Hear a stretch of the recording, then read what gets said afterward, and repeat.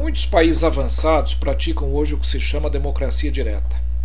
Toda vez que existe uma polêmica com relação a uma determinada medida, com relação a uma lei que todo mundo discute muito, aonde as posições estão divididas, os governantes resolvem ir diretamente ao povo para saber a opinião deles fazem os chamados plebiscitos. Isso é muito comum nos Estados Unidos, onde em cada eleição municipal, estadual ou mesmo nas eleições federais, eles colocam junto com o mesmo voto, com a mesma eleição, eles colocam também determinadas questões para o eleitor dizer sim ou não, quero ou não quero.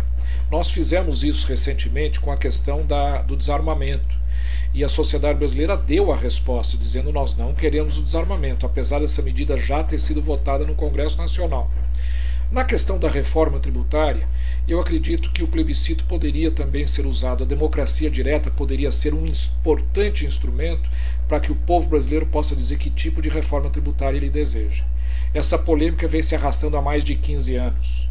E agora acabamos de descobrir que no ano de 2005 a carga tributária atingiu seu recorde histórico. Nunca se arrecadou tanto imposto como se fez durante o ano de 2005, quase 38% do PIB. É um sistema injusto, um sistema que acaba caindo com excessivo peso em cima de alguns poucos segmentos da sociedade que não podem evitar a tributação, que não conseguem sonegar, se evadir. É um sistema caro, é um sistema que gera corrupção e, sobretudo, impele as pessoas para a economia informal como um mecanismo de defesa uh, contra essa carga tributária tão alta. É por isso que a reforma tributária é tão importante para o Brasil. Infelizmente, ela não caminha, está patinando, há interesses contrariados, muita gente que não quer mudar o sistema tributário, quer deixar tudo exatamente como se encontra, mas eu acho que já é hora da sociedade dizer qual é a opinião dela, o que é que o povo deseja fazer uh, no tema da reforma tributária.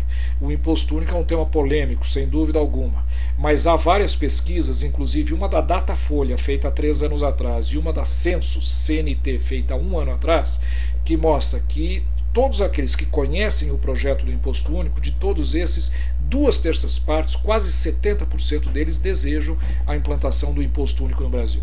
Então vamos fazer um plebiscito. Esse é o desafio que eu faço aqui a todos aqueles que vão estar enfrentando as urnas agora em outubro de 2006. Vamos saber se a sociedade brasileira quer ou não uma reforma tributária nos moldes do imposto único. Vamos fazer um plebiscito.